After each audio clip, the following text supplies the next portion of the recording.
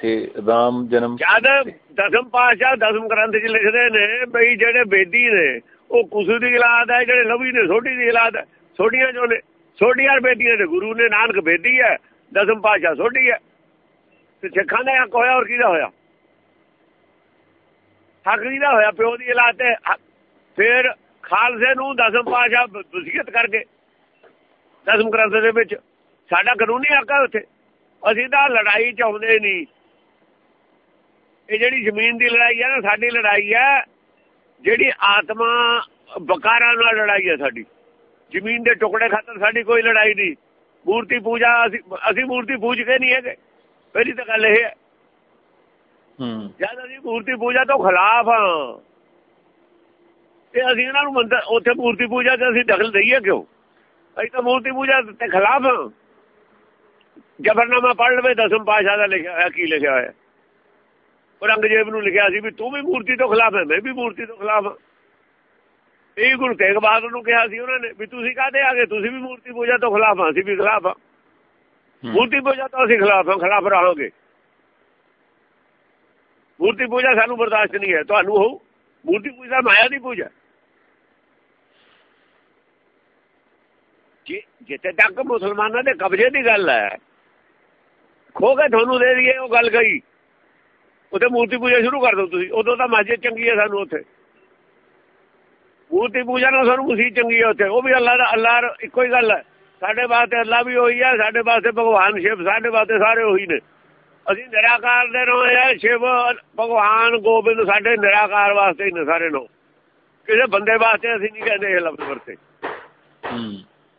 ਇਹ ਬੰਦੇ ਵਾਸਤੇ ਜਿਹੜਾ ਰਮਾਕਾਂਤ ਕਹਿੰਦਾ ਨਾ ਮੈਂ ਸੁਣ ਕੇ ਆਇਆ ਉਹ ਦਸਮ ਗ੍ਰੰਥ ਦੇ ਪੜ੍ਹ ਲਵੇ ਜਿਹੜਾ ਪਾਇਆ ਹੋਇਆ ਉੱਥੇ। ਕਿਤੇ ਕ੍ਰਿਸ਼ਨ ਸੇ ਕੀਟ ਕੋਟੇ ਬਣਾਏ। ਕ੍ਰਿਸ਼ਨ ਨੂੰ ਗੋਬਿੰਦ ਕਹਿੰਦੇ ਨੇ ਦਸਮ ਪਾਸ਼ਾ ਨੇ ਕਿਤੇ ਕ੍ਰਿਸ਼ਨ ਸੇ ਕੀਟ ਕੋਟੇ ਬਣਾਏ ਕਿਤੇ ਰਾਮ ਸੇ ਵੇਟ ਡਾਰੇ ਉਪਾਏ। ਉਹ ਤਾਂ ਇਹ ਲਿਖਦੇ ਨੇ ਸਾਰਾ ਦਸਮ ਗ੍ਰੰਥ ਪੜ੍ਹ ਲੈਣ ਫੇਰ ਇਹਨਾਂ ਦੀ ਅੱਖਾਂ ਖੁੱਲ ਜਾਣਗੀਆਂ। ਇਹ ਇਹ ਨਾ ਕਹਿਣ ਵੀ ਵੀ ਅਸੀਂ ਪੜ੍ਹੇ ਲਿਖੇ ਆ ਵੀ ਇਹ ਹਨੀ ਅਨਪੜ੍ਹ ਨੇ ਸਿੱਖ। ਉਹ ਗੱਲ ਬਹੁਤ ਦੂਰ ਚਲੀ ਗਈ।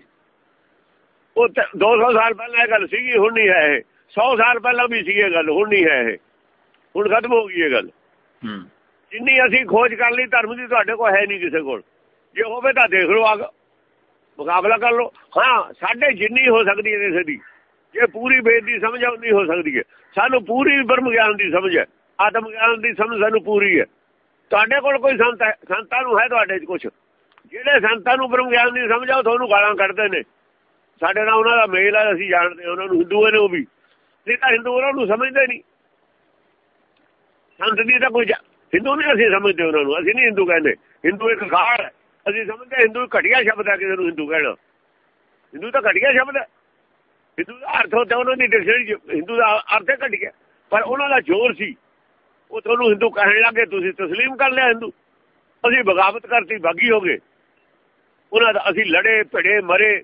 ਥੋੜਾ ਮੁਸਲਮਾਨਾਂ ਨਾਲ ਅਸੀਂ ਆਪਣਾ ਸਿੱਖ ਖਾਲਸਾ, ਆਪਣੀ ਹੋਂਦ ਵੱਖਰੀ ਕਰ ਲਈ ਹਿੰਦੂਆਂ ਨਾਲ ਸਿੱਖਾਂ ਸੀ ਅਸੀਂ ਹਿੰਦੂ ਨਹੀਂ ਹੈਗੇ।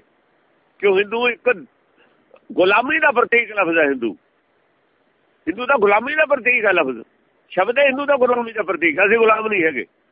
ਨਾ ਅਸੀਂ ਅੱਜ ਗੁਲਾਮ ਹਾਂ ਕੱਲ ਗੁਲਾਮ ਹਾਂ ਅਸੀਂ ਗੁਲਾਮ ਹੋਈਏ ਨਾ ਰਹੀਏ। ਹਾਂ ਤੁਸੀਂ ਗੁਲਾਮੀ ਤੋਂ ਬਾਹਰ ਜੇ ਜੂੜੇ ਚੋਂ ਨਿਕਲਣ ਤਾਂ ਸਿੱਖ ਬਣ ਜਾਓ। ਹੂੰ। ਬਾਕੀ ਜੇ ਉਹ ਇਹ ਸਮਝਦਾ ਇਹਦੇ ਚ ਕੋਈ ਗਲਤੀ ਮੈਨੂੰ ਜਵਾਬ ਦੇਵੇ।